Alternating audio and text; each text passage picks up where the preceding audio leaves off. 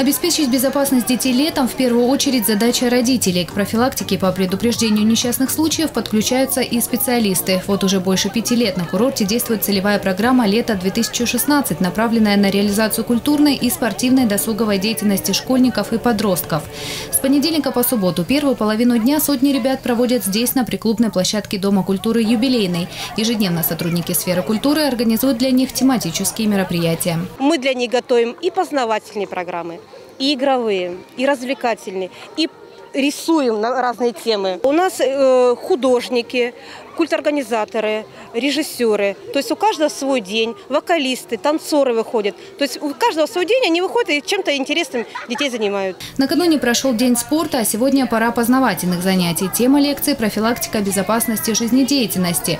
Как во время каникул не подвергать свою жизнь опасности и в какие службы нужно обращаться в случае ЧС, ребятам рассказал сотрудник городской службы спасения.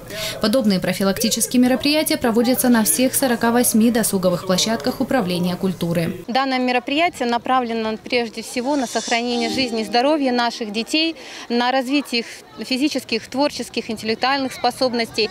И, конечно же, чтобы наши дети летом были заняты и привлекались к участию в работе детских досуговых площадок. Ознакомившись с теорией, ребята увидели и работу спасателей. Сотрудники городской службы спасения показали, как применяется аварийно-спасательная техника, рассказали детям о значимости своей профессии и необходимости соблюдения правил безопасности и не только во время летних каникул. Татьяна Говоркова, Николай Тихонов, телекомпания «ФКТ».